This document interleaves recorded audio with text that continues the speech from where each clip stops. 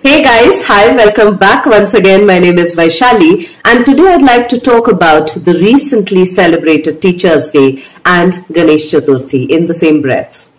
So the festival of Ganesh Chaturthi began with the establishment or sthapana of Ganpati or Ganeshji. And then the festival carries on for a few days before we go and immerse him in water. And as a kid growing up, I would always question my elders as to why do we immerse, why do we drown Ganpati?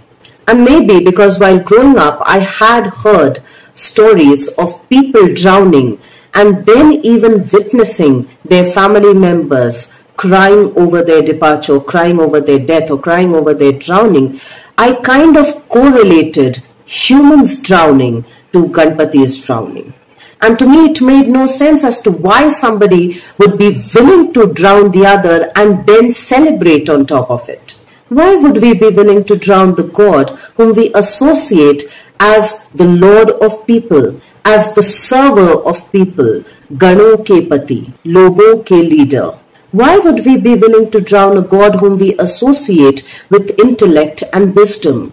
Why would we be willing to drown somebody whom we associate as being far-sighted, as somebody who has the capacity to hear what we probably cannot hear, to listen to and pay attention to the little nuances that we probably miss out on? Why would we be willing to drown somebody whom we call as our Vignaharta? After all, we all want our obstacles to be removed. So why would we drown the person who removes all our obstacles?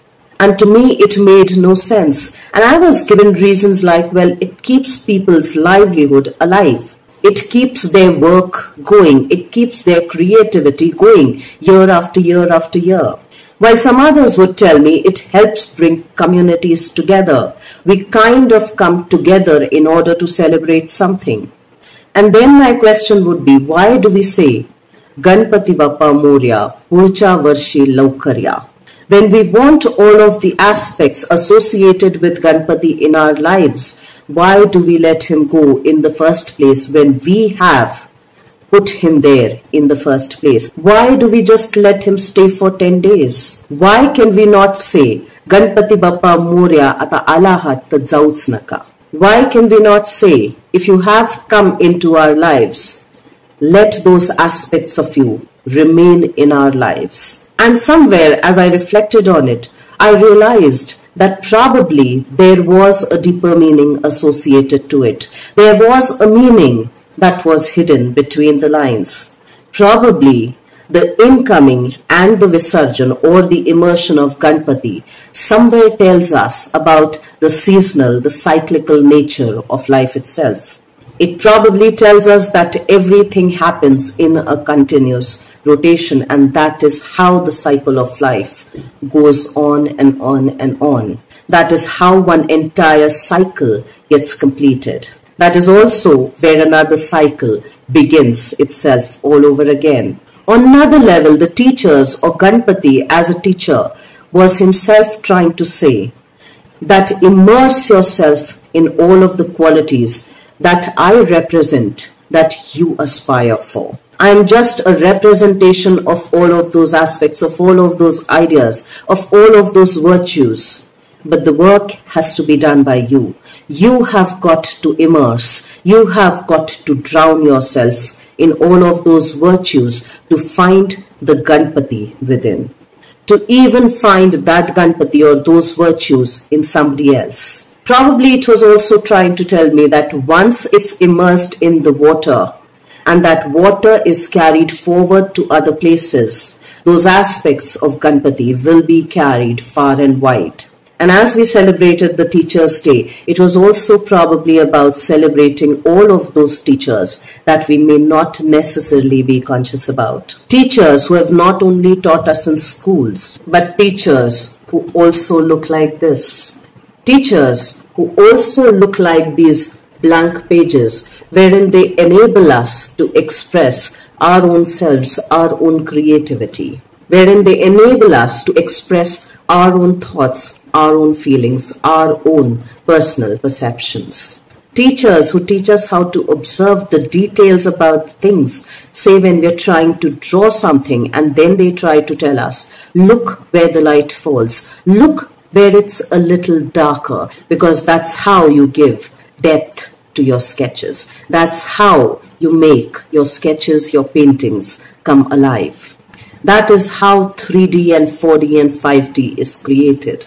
Teachers who at times can look like Rancho of Three Idiots, or even Chatur of Three Idiots who tell us what we necessarily should not be doing, or at least not unconsciously doing. Some teachers can also look like PK who teach us how to view the world through a completely different lens. For some, the teachers can be in the form of plants that they take care of. For every plant is also trying to teach those disciples that they all need different kind of care. That one size does not necessarily fit all, all the time. Every interaction, every engagement that we have with the other, the other including a person and all of these other things is also our teacher. The Visarjan of Ganpati has also been one of my teachers. And not to mention the least, my daughter has been one of my greatest teachers amongst all of these other teachers as well. She not only gave me a chance to be her teacher and her disciple at the same time, but she also taught me how to be a better mother. She also taught me how to be a more engaged, a more present mother. So our teachers, our gurus, our mentors, our guides don't just come in one form. They come in every form that can make us reflect on ourselves, that can help make our unconscious conscious, that can help open up our hearts and our brains, that can help us become a little more curious, a little more engaged, a little more present, a little more open hearted, a little more open minded, and not without discernments. So today I'd like to acknowledge and pay due respect to all of these teachers who have taught me something or the other. And I hope they keep teaching me more and more as I walk through my seasons of life. Give yourself a chance to think who all have been your teachers. What all have they taught you? Have your teachers been somebody like Chatur or have your teachers been somebody like PK? Have your teachers just been restricted to schools and colleges? Or did you find your teachers in many more places as well? Because it's my personal honest belief that every teacher is a willing, curious disciple first. Let's try and think about all of those things. Let's try and keep finding our teachers, our guides, and our mentors so that we keep becoming a better version of ourselves. So that we keep immersing and finding our own truths within ourselves. Let's try and do that for ourselves and I will see you once again the next week. Till then, stay tuned in. And guys, if you do like the contents of my videos, please do like, share and subscribe.